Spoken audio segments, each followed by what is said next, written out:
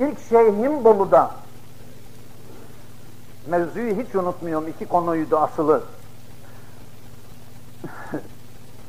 Sürmeli Muhittin Efendi Hazretlerinden ders aldım. İlk defa.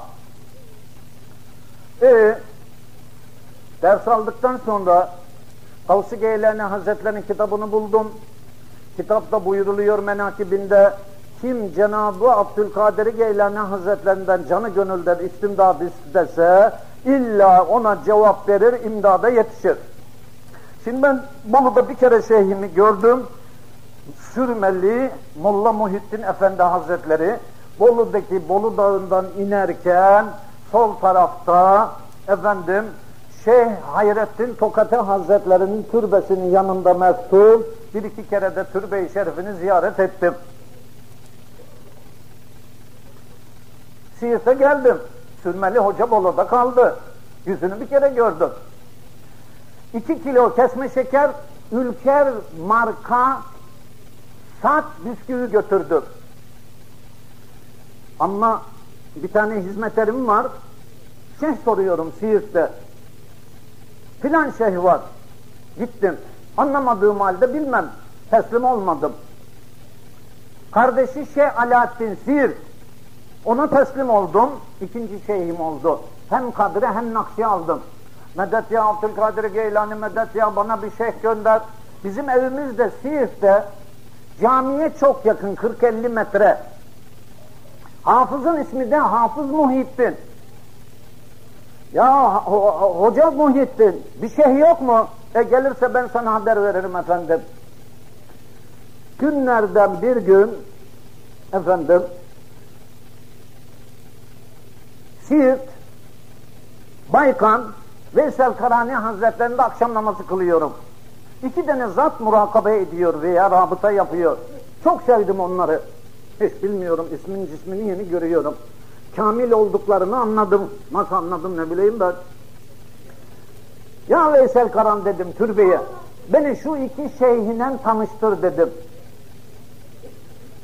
Rabıtadan çıktılar. Elimden tuttular.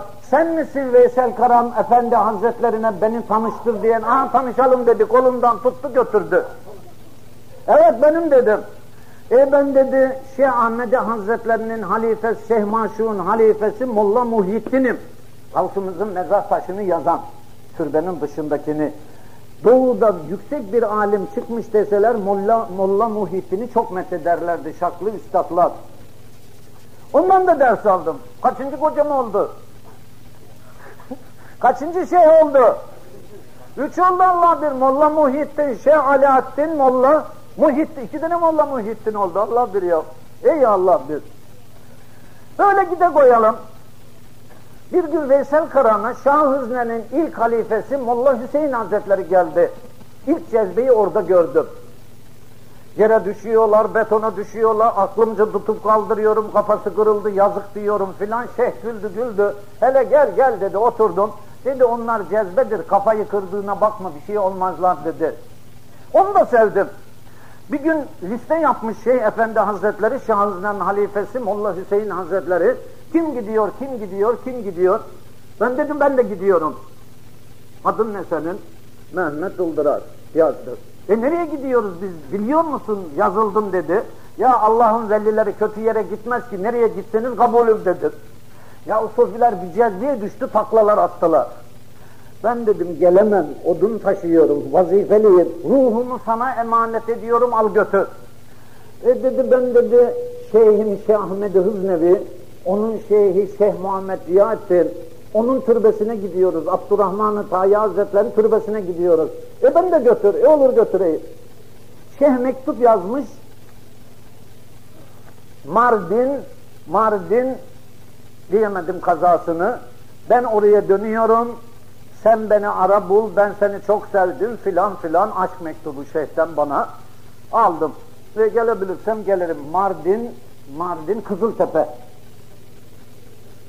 O da gitti mürid olamadım ama eğer yetişseydim onun da müridi olacaktım. Dört olacaktı, üç buçuk oldu. Gönlüm kaydı, nikah kıyamadık. Nişanda kaldık. Allah biliyor. Böyle gide koyalım. Bir gün tuğla götürüyorum Muş'a. 15 tane arabamla tuğla yüklü Muş'ta kışla yapılacak. Baktım bir köyün üstü insan dolu, damlar, yerler insan dolu. Arabaları istif ettim, nöbetçi koydum. Dedim ya burada ne oluyor? Olsa olsa düğün dediler. Hadi gidelim pilav yiyelim dedim. Ya meğerse, meğerse bizim o sözümüz boşa gitmemiş.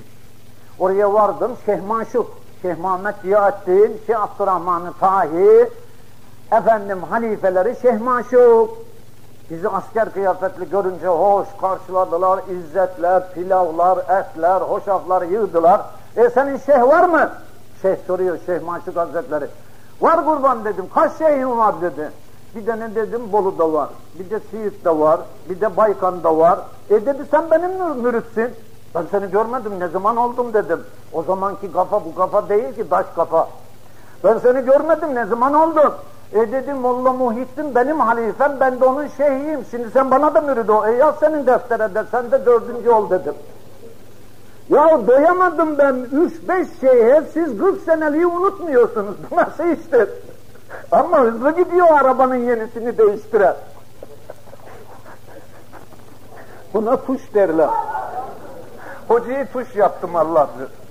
Halbuki çok kolay. Bir kafa kol yallah. 70 yaşında 40 yaşındakine tuş yaptım. Ya sizin aklınız ermiyor, tuş yapmak için kafa güreş yapıyorsunuz. Oyun tak yahu nefsine. Bir kafa ya Allah aşağıya. Allah adamı arıyorum ben. Niye arıyorum? Medet ya Gavsu Geylani el medet bana bir şeyh ver diyorum ya. Gece gündüzde dört verdi doymadım. Doymadım, aradığımı bulmadım, maksuduma ermedim. Yine arıyorum Allah bir dört tane olsun. Aradığım yok. Kaze, kaza, kader ezeldeki yok. Vah vah vah. Bir gün rüya gördüm. Hızlı gidelim az daha. Recep ayındayız. Bir deniz. Denizde yüzüyorum. Allahu Teala mekandan münezzeh denizin içinde. Bana dediler Allah'a git. Giderim ben dedim. Denize daldım. Gittim gittim gittim. Tamam çık dediler. Çıktım. Bir sandal geldi. Bin dediler. Bindim. Sandalcı dedi nereden gelirsin? Ben Allah'tan geliyorum dedim. Allahu Teala nerede dedi. Gavs-ı Geylani Hazretleri'nin kitapta yazıyor. Benim okuduğum kitapta. Allah mekanda münezzehtir. Bütün mekanların mekanı Allah'tır. Ben bunu dedim. Ağlayarak uyandım. Ya çok güzel rüya gördüm ben dedim. Kendi kendime gecenin ikisi sabah namazına vakit ya ve Allah'a gittim denizde yüzdüm ne güzel dedim. Yine bizim hafız muhitine soruyorum şeyh yok mu? Gelen şeyh yok mu? Cuma namazına geldim. Dedi müjde müjde Raus denilen Seyit Abdülhakim Molla Mustafa Efendi'nin camisine gelmiş. Bir koştum. Yetiştim, namazı kıldım, Gavs-ı Kasrevi'yi buldum. Ya kurban öyle cezbe, öyle cezbe dedim buraya giren ya deli olur ya veli olur. Çünkü normal insanlar yok. Küllü deli, küllü cezbeli, sultan-ı cazibin, nuru hidayetil vasilin. Beni imam odasına aldı.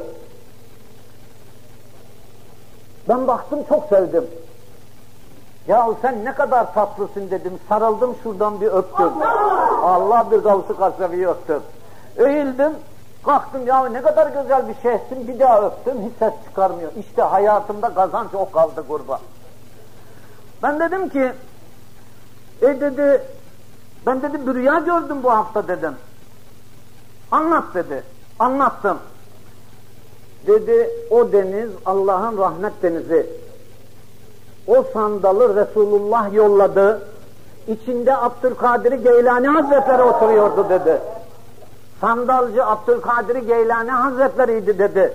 Sen iki üç aydır medet ya Gavs-ı Geylani, medet ya Gavs-ı Geylani diye yalvarıyordun. Gavs-ı Geylani dünyaya şöyle baktı.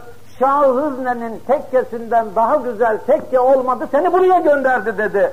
Muhteremler şeyh böyle olur. Rüyanızı da bilir. işinizi de bilir. Ananızın vefatını da bilir. Gönül verdiğin Allah adamı olmalı, sevdiğine değsin. Her gördüğün güzele gönül verme. Çingene kızına da bir gün aşık olursun. Verme herkese, bu gönül o kadar ucuz değil. Bu Allah'a tahsis edilmiş bir makam gönül. Allah adamını sok içeriye, Allah'ı göstersin sana, Allah'ı tarif etsin, Allah'a giden yolu göstersin. Mahalle muhtarından Allah'a giden tezkire alınmaz. Hastane tabibinden Allah'a giden rapor alınmaz. Mimardan, mühendisten Allah'a giden inşaat yaptırılmaz. Allah adamı Allah'ı bilir. Allah adamını aramak lazım. Vay Allah adamı vay. Vay Allah adamı vay. Allah adamını bulun. Allah adamını bulmazsanız sizi Allah nereden götürsün? Allah adamı kah zahirde perişan kıyafette olur, kah zengin kıyafette olur. Allah adamını Allah gizlemiştir. Allah adamını Allah gizlemiştir. Allah'ın adamını bulmak, bilmek lazım gelir.